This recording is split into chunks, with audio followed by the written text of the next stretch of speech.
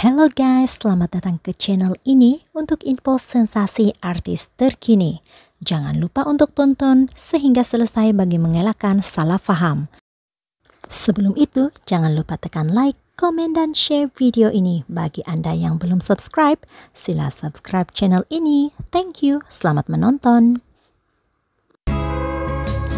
Pelakon sensasi rohani sekali lagi mencuri perhatian selepas memuat naik quote melibatkan Aib menerusi hantaran di Instagram miliknya.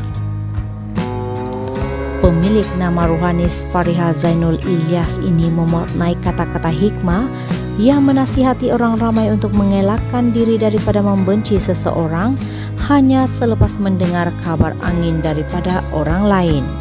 Henti benci dan tidak suka pada orang lain berdasarkan apa yang kamu dengar tentang mereka.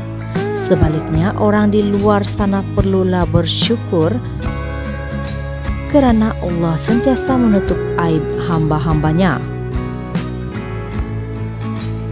Bersyukurlah kerana Allah tidak membencimu atas apa yang dia ketahui. Hantaran tersebut pastinya meraih perhatian warga maya yang sama sekali tidak bersetuju dengan cara yang dilakukan pelakon berkenaan menjengah ke ruangan komen rata-rata netizen meminta agar Rohanis membuat permohonan maaf kepada Bella Astila dan henti menggunakan agama dan nama Allah atas kesilapan yang dilakukan.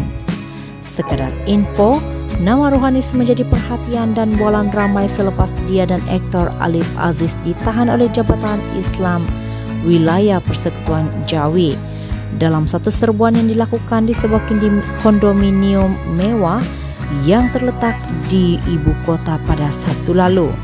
Istri Alif atau Bella Astila turut hadir ke pejabat Jawi susulan suaminya ditahan namun tidak membiar memberikan sebarang kenyataan disebabkan masih berasa terkejut.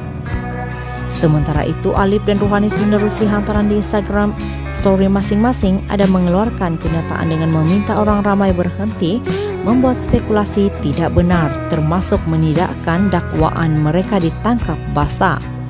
Dalam perkembangan lain, Bella hadir ke Mahkamah Syariah Wilayah Persekutuan Kuala Lumpur bagi prosiding pertama sebutan kes perceraian dengan Alif semalam.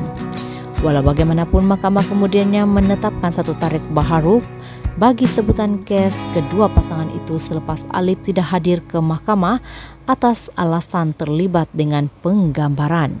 Sekian info, terima kasih.